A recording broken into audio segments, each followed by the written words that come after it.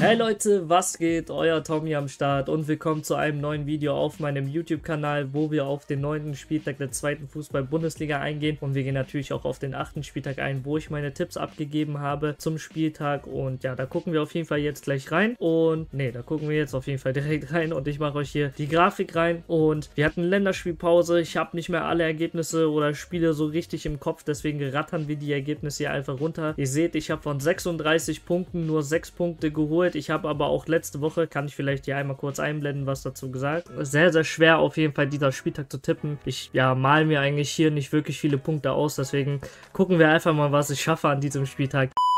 Ja, mir war es eigentlich schon relativ klar, dass wir da nicht wirklich viel Punkte holen werden an diesem Spieltag, weil es einfach ja sehr, sehr schwer war, sehr viele ausgeglichene Teams oder Mannschaften, die in den letzten Wochen nicht so performt haben, dann auf einmal doch gewonnen haben und so weiter oder Mannschaften, die eigentlich die Qualität haben zu gewinnen, aber in den letzten Wochen nicht so gut waren. Keine Ahnung. Da war so viel Schwierigkeiten in den Spielen dabei, deswegen war es auf jeden Fall richtig schwer zu tippen. Ja, und wie gesagt, ich glaube, ich sage gar nichts dazu. Ihr seht die Ergebnisse hier alle eingeblendet, die Grafik. Ihr seht, ich habe nur 6 Punkte von 36 geholt, ist auf jeden Fall nicht gut. Wir hatten ein knappes Ergebnis mit äh, Köln, da habe ich 2-1 getippt, 2-0 ausgegangen. Auch das Paderborn gegen Regensburg-Spiel war noch sehr knapp, da hätte ich vielleicht nochmal zwei extra Pünktchen holen können. Der Rest war dann ja eigentlich nicht so gut. Also man sieht es ja, ne, Magdeburg gegen Fürth, da kann man vielleicht noch sagen, okay, 2-2 ähm, Ergebnis gewesen und ich habe 1-0 auf Magdeburg getippt. Da kann man vielleicht dann sagen, okay, äh, das war dann knapp oder Hertha Schalke war auch knapp, aber ihr seht die Ergebnisse und viel will ich dann auf jeden Fall nicht mehr dazu verlieren und würde sagen, wir gehen direkt in den neunten Spieltag rein. Ja, dann würde ich sagen, gehen wir in den neunten Spieltag rein. Wir haben natürlich Freitagabend wieder zwei Spiele am Start. Wir haben Darmstadt gegen Köln und Hertha gegen Braunschweig und wir gehen direkt auf das Spiel ein, Darmstadt gegen Köln. An die Kölner in den letzten Wochen, ja,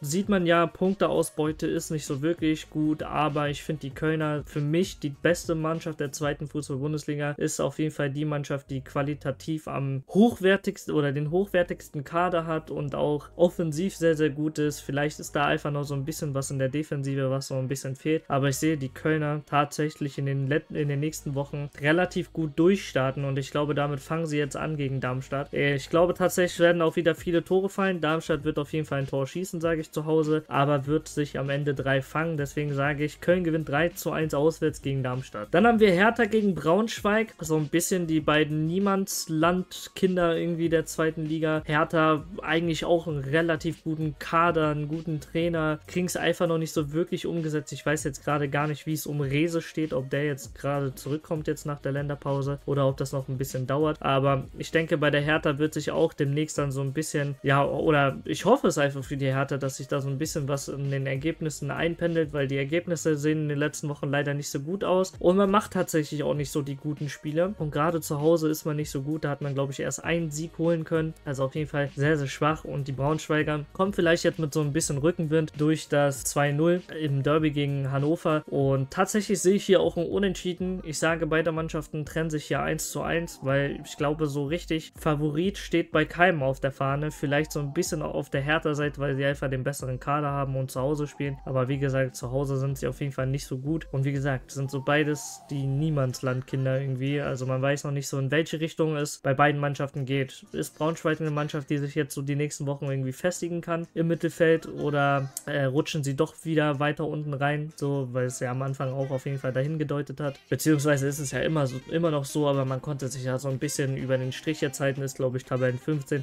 Wie gesagt, keine Ahnung. Ich gehe hier einfach mit einem Gefühlstipp, ist auf jeden Fall hier, ja, gefühlt nicht irgendwie, kann ich nicht sagen, der oder der ist so viel besser, dass ich da auf den Sieg gehen kann, deswegen unentschieden. Dann haben wir Hannover gegen Schalke und tatsächlich Hannover ist glaube ich so mit einer der besten Mannschaften heim. Ich glaube, ich glaube, es gab nur. Ich, ich, glaube, Hannover ist, glaube ich, die einzige Mannschaft, die noch kein Spiel verloren hat zu Hause. Also Hannover sehr, sehr stark zu Hause. Und man sieht ja auch immer so in den Ergebnissen: Hannover gewinnt ein Spiel, Hannover verliert ein Spiel. Hannover gewinnt ein Spiel, Hannover verliert ein Spiel. Das ist natürlich dann auch an diesem Heim-Auswärts so ein bisschen getaktet, dass die Auswärts nicht so gut sind, aber dafür Heim umso besser. Und ja, das glaube ich, werden sie jetzt auch Schalke unter die Nase reiben, beziehungsweise werden sie sich da durchsetzen. Deswegen sage ich, Hannover wird 3 zu 2 gegen Schalke gewinnen. Ich denke, es werden sehr viele Tore fallen. Beide haben auch offensiv so die Qualitäten, gerade die Schalker. Schalke eh so eine kleine Hauruck-Mannschaft, die so, glaube ich, wenn sie dann zurückliegen, so, ja, dieses Malucha gehen so und die Fans so ein bisschen zu beeindrucken, dass man da so ein bisschen dann offensiv auf jeden Fall agiert. Deswegen, keine Ahnung. Ich gehe auf jeden Fall mit vielen Toren. Hannover gewinnt für mich 3 zu 2 gegen Schalke. Haben wir Regensburg gegen Fortuna. Ähm, ich sag ehrlich, wenn wir da jetzt am Wochenende auswärts nicht gewinnen gegen Regensburg, dann weiß ich auch nicht, weil Regensburg hat erst ein einziges Tor geschossen in der zweiten Liga. Liga ist die Schießbude der Liga, hat glaube ich 19 Gegentreffer oder irgendwie sowas kassiert in der zweiten Liga, konnte bisher erst ein Spiel gewinnen tatsächlich. Das war glaube ich irgendwie am zweiten Spieltag auch gegen irgendeinen Aufsteiger, gegen Münster oder so, haben sie glaube ich 1-0 gewonnen. Das war wie gesagt auch das einzige Tor, was sie geschossen haben. Deswegen gehe ich tatsächlich auch hier mit einem zu 0 Sieg für die Fortuna und ich sage ja, eigentlich führt da kein Weg dran vorbei, da nicht zu gewinnen. Das wäre sehr, sehr bitter, wenn wir jetzt da hinfahren und uns da eine Niederlage abholen. Das wäre, ja, wäre auf jeden Fall sehr, sehr schlecht. Ich gehe hier mit einem 2 zu 0. Ich sage, Fortuna wird das auf jeden Fall souverän machen. Wir sind auf jeden Fall gut unterwegs. Offensive ist gut. Unsere, ich glaube, wir sind die zweitbeste Defensive der Liga. Glaube ich, erst sieben Gegentore kassiert. Ja, jetzt drei gegen Hamburg. Das war natürlich so ein bisschen, dadurch sind wir nicht mehr die beste Defensive der Liga. Ich glaube, das ist jetzt Hannover. Ja, deswegen einfach 2 zu 0 für die Fortuna. Ich denke, es wird sehr, sehr souverän in Regensburg. Dann haben wir Münster gegen Elversberg. Ich glaube, hier kann ich es kurz machen. Ich finde Münster einfach von der Qualität her nicht so gut, um Elversberg zu schlagen. Elversberg einfach in den letzten Wochen sehr, sehr gut. Auch die verlieren mal ihre Spiele, aber da brauchen wir nicht drüber reden. Elversberg hat jetzt auch nicht den Riesenkader. Dennoch haben sie ein gutes Team und ich glaube auch auswärts werden sie wieder ein gutes Gesicht zeigen und sage, sie gewinnen sogar zu 0, also dass Münster kein Tor zu Hause macht. Ich sage, sie gewinnen 2 zu 0 gegen Münster auswärts. Dann haben wir Lautern gegen Paderborn und ja, Paderborn, die letzten Wochen habe ich sie ein bisschen schlecht getippt, beziehungsweise ja, die sind einfach sehr gut in die Saison reingestartet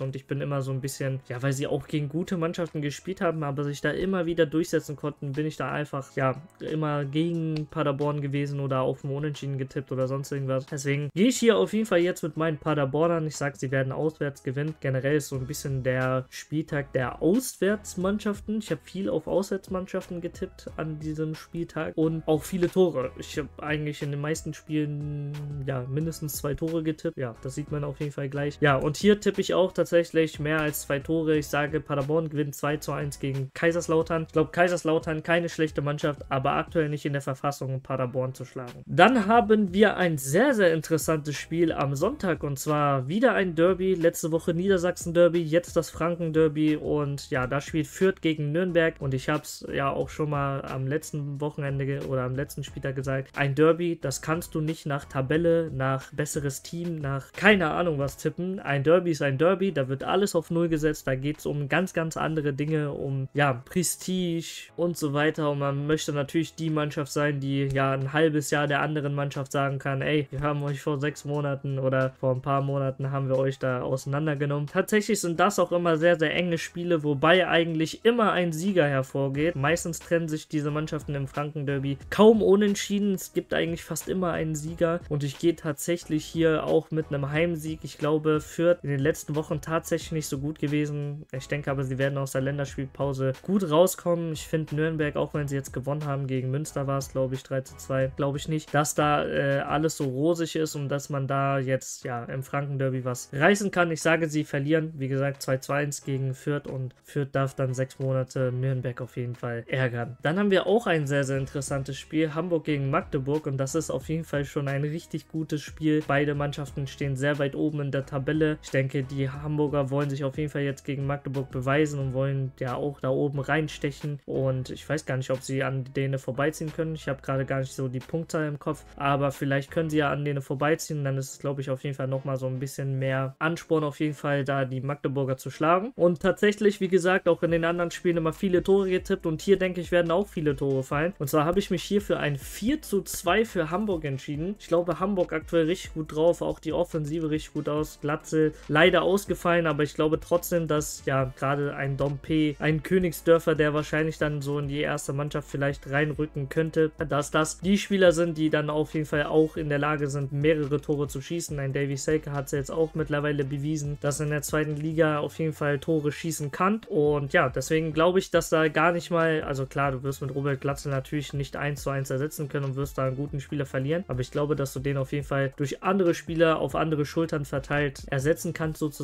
Deswegen glaube ich trotzdem, dass viele Tore fallen. Und Magdeburg, ich glaube, die darfst du auf jeden Fall nicht abschreiben. Die sind auch offensiv sehr, sehr gut, spielen auch einen sehr, sehr guten Ball, aber tatsächlich glaube ich nicht, dass die aktuell die Hamburger schlagen können. Und dann kommen wir zum letzten Spiel. Hier können wir es kurz und knapp machen. Ich finde, Ulm ist so von den Aufsteigern vielleicht so das Team, was ich so aktuell am besten finde, beziehungsweise wie sie sich am besten schlagen in der zweiten Liga. Aber glaube dennoch, dass da ja auch so langsam die Qualität ein bisschen schwindet. Zu Hause sind sie, ich glaube, nicht so gut bisher in die Liga gestartet. Ich glaube, da haben sie ein bisschen Probleme. Haben ja auch viele Spiele immer so last minute verloren. Haben, glaube ich, letzte oder vorletzte Woche das erste Mal zu Hause gewonnen. Aber dennoch glaube ich, dass Karlsruhe einfach aktuell zu gut ist und auch einfach in der Offensive zu gut ist. Und ja, dass die die Ulmer auf jeden Fall bezwingen werden. Ich wollte erst mit einem 2-1 gehen, habe mich dann doch umentschieden und sage 3 zu 1. Ich glaube, Karlsruhe, ja, Spektakelmannschaft der letzten Wochen, schießen viele Tore. Deswegen gehe ich einfach hier mit einem 3 zu 1. Das ist auf jeden Fall meine Tipps hier für den neunten Spieltag. Alle neun Spiele einmal durchgetippt. Gucken wir mal, was passiert. Ich glaube auf jeden Fall mehr Punkte wie am letzten Spieltag, also mehr als 6. Da sehe ich mich schon. Ich denke mal, also ich würde